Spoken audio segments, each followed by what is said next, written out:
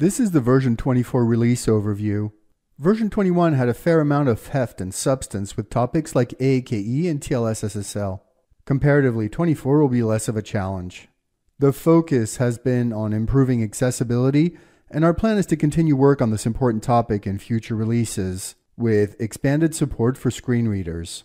We've also added Java support for operating system agents and taken steps to support universal language in order to handle operations with different character sets.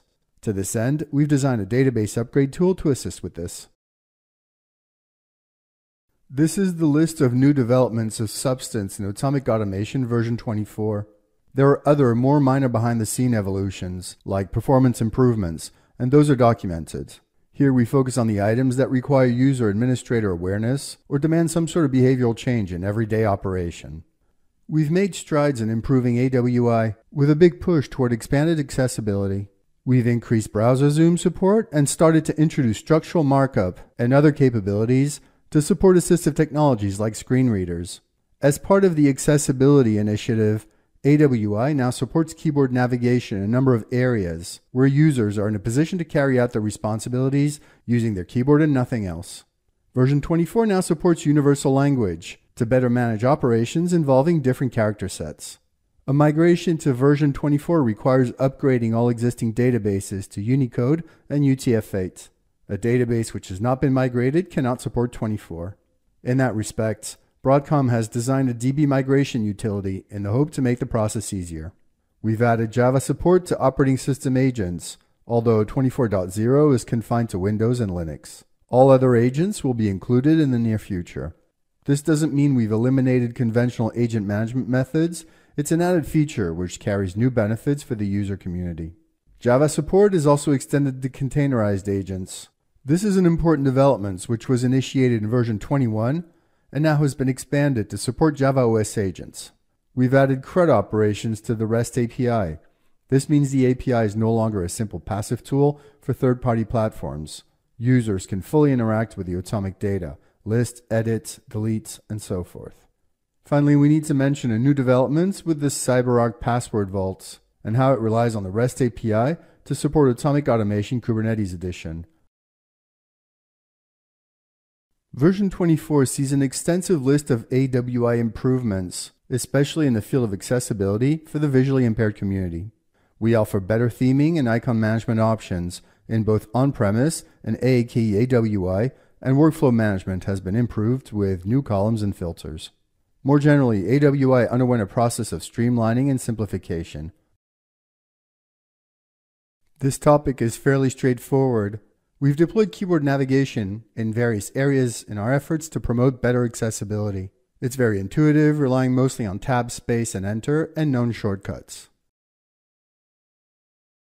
Version 24 offers universal language support with Unicode and a UTF-8 database for better support of cross-character set operations.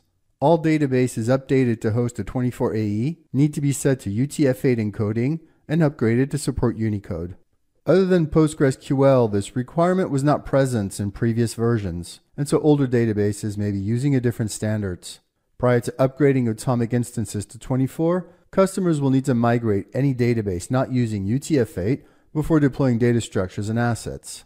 Broadcom includes an automated UTF-8 migration tool with the version 24 install package. The tool comes in the form of a workflow to accommodate ILM.